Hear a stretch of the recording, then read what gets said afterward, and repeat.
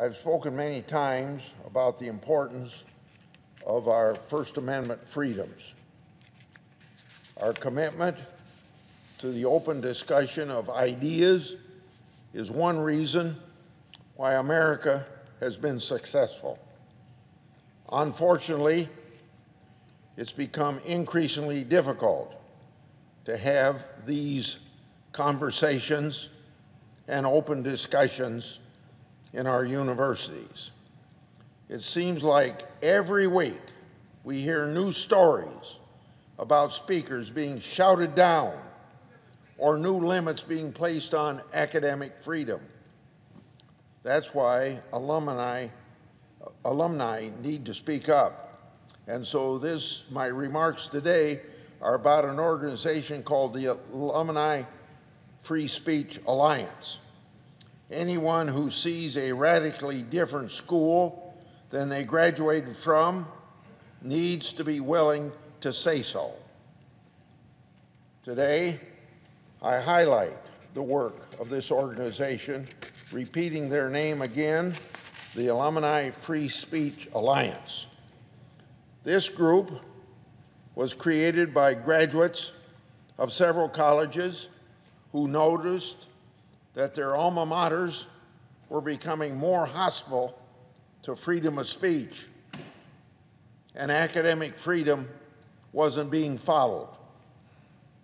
The Alliance, the Alumni Free Speech Alliance, partnered with organizations of alumni at each of their former colleges to pool their resources. By working with those who support open dis discourse, they hope to make it easier to create these alumni groups at more colleges and grow the ones that exist. They are right that alumni are often best suited to speak out about illiberalism on our campuses.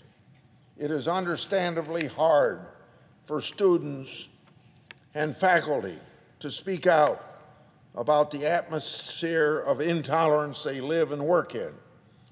You know, they're shamed, embarrassed, all of those things that are tools that shouldn't be used in any university that brags about academic freedom.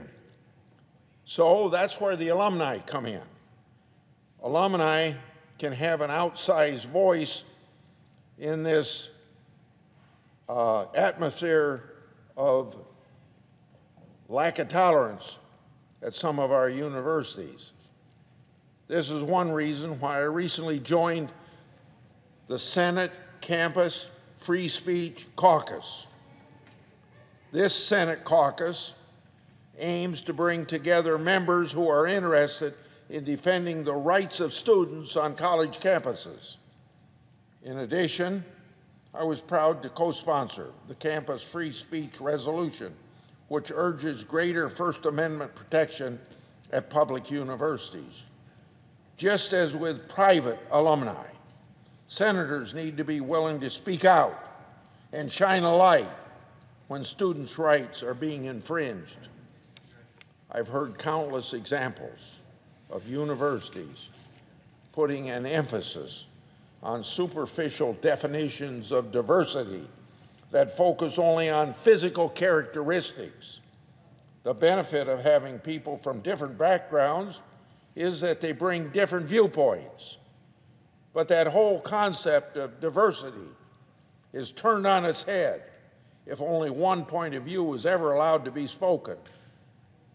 Universities do a disservice to their students if they just tamp down any idea that their loudest activists disagree with. Colleges should be places of debate and discussion, not enforced intellectual rigidity. Alumni need to be willing to speak out about these issues because too often people that are on that campus can't. My definition of a university that I've used throughout a lifetime is it's it's a place where controversy runs rampant.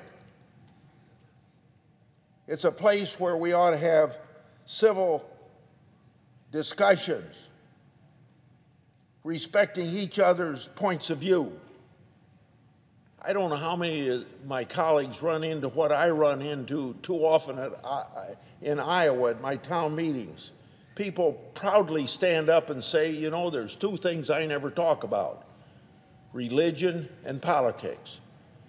Well, if you're a religious person and God is going to have an impact on your life, why shouldn't you be willing to discuss that? You may be discussing with a Baptist and a Catholic, or with an atheist and with a Baptist, or a Christian. Why shouldn't you be able to discuss that in a civil way? Because it's important to your life. And we all know the role of big government in our society, and we know the principles of representative government.